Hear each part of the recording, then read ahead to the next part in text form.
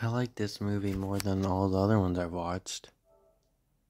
Um, it started out really good. I was looking forward to it.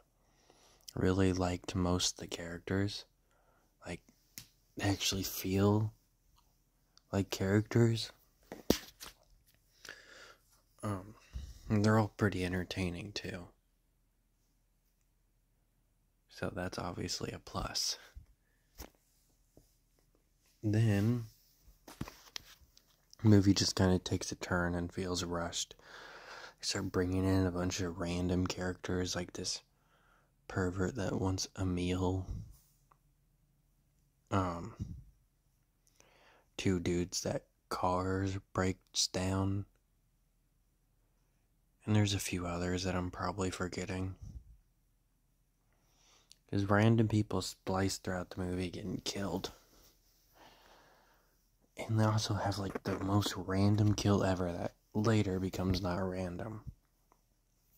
Where there's this dude that just wants to help people. And he says the wrong thing to the wrong person. He tells him he's out of line and walks away. And then he gets killed.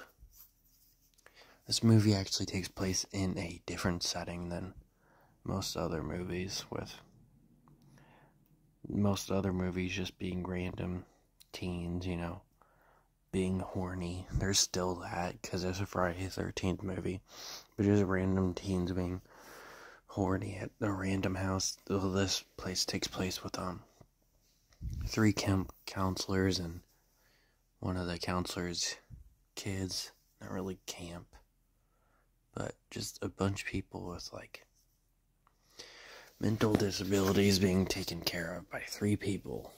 They all got something wrong with them. They never say, though, with everybody. There's more just um, every other character calling it the loony bin or a nut house or referring to them as nuts. and then eventually, like some of the characters just like disappear. Like not oh Jason, you know, came towards them and they screamed at the camera and then nothing happened. No, they just like straight up disappear from the movie, just to like later show them. Like dude Mark and the grandpa disappear, just for them later to show them. Just randomly. I was almost thinking they might have like went to like a store and you had to survive or something. But no, like she bumps into Mark's body and Gramps gets thrown through a window. Which we've seen that probably three times now. Um, and they recreate the one kill that they've been doing way too many goddamn times by now, where, you know, a knife or something goes through the bed and it kills them. And this one, this one isn't even brutal. Like the one with the bow and arrow with Kevin Bacon's was pretty brutal. then there was the recreation of it with um I think it was literally the last movie, the final chapter. And then they do it again in this movie, and we don't even see any blood. Like, we just see the knife come up and it kills her. And then that's it. And then Jason does like a terrible job at hiding the bodies in this movie because he just takes all three of them, puts them in Tommy's room, and that's it. He lays them all on Tommy's bed. Terrible hiding spot. And Tommy is obviously played by a different actor because the actor was literally a kid and still a kid a few years ago and they wanted an adult. So, yeah, he's an adult in this movie. And he like becomes Jason near the end or something. I don't know. This movie was really good, but it just took a weird turn. Um, they also have the weakest final girl of the series so far in this movie. All the other ones kicked ass. The first one um, kicked ass against Mrs. Voorhees, and the last one kicked ass along with her brother, little brother Tommy. Which they also don't, don't explain where the hell she's at. They're just like, yeah, he he's traumatized. So now he's going to this place. And then that's it.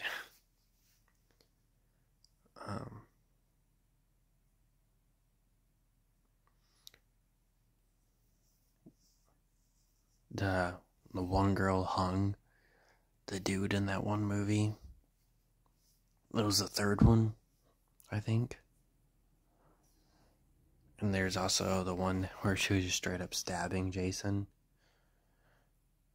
I don't know, it's been a few days since I've, you know, kept up with these movies. I stopped after the final chapter for a little bit. So now I don't really remember it as well. But yeah, like all the final girls have kicked ass so far, and this final girl, she gets saved by a little kid named Reggie the Reckless. And then Reggie like gets his leg grabbed after he saves her and like she kicks Jason. They run into a barn and like she uses a chainsaw for a little bit and gets like a little hit on Jason with the chainsaw which, you know, it's Jason, so that's not really a big deal. Would have been a big deal if it was anybody else. Then, um, immediately she needs saving because it quits working. It's out of gas or something. Um, so then she's saved by Tommy. And then they all get up there and, like, Tommy like immediately passes out. I assumed he was faking, but apparently he wasn't because he wakes up later to help during that scene. Anyways, Reggie saves her again. So Reggie saves her twice, and Tommy saves her once, and all she did was like kick Jason to save Reggie after he saved her. Which isn't very, you know, impressive because, you know, she's just saving a child. It's not like a she helped save a grown man. Then um we find out that it's not actually Jason, so I guess it kind of is impressive. I almost forgot about that. It's the random paramedic that showed up when the one kid was murdered. That pissed off the wrong dude. And he was like the dad of the dude that got murdered. And like he abandoned him or something. It's just so weird and dumb. And then eventually, the movie ends with him putting on the fake Jason's mask, Tommy, I mean, and sneaking up behind the final girl. And he has a knife, and then the movie ends. There's also one thing I wanted to mention that I almost forgot that was completely dumb. The movie starts with Jason is buried, and he has his machete in the grave with him.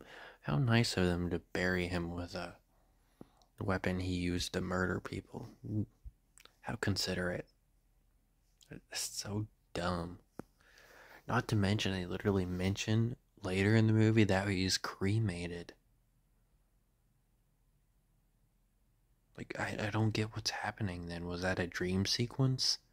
Why would they open up the movie with a dream sequence? Isn't that just something they usually do near the end of the movie? But yeah, that's about it.